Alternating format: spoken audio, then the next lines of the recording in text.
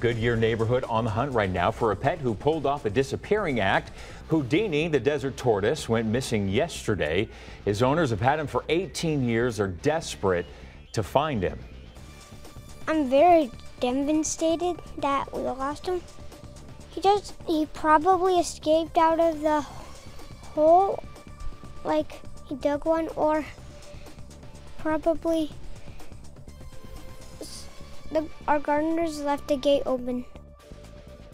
I hate when that happens. Houdini was last seen near Virginia Avenue and Pebble Creek Parkway in Goodyear.